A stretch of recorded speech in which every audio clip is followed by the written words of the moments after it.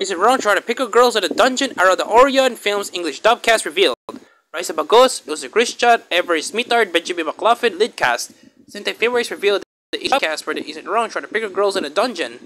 Of the Orion Film and Friday. Kyle Colby Jones is directing the dub, and Holly Segarra is the ADR writer. Christopher Borco is the mixer of the dub.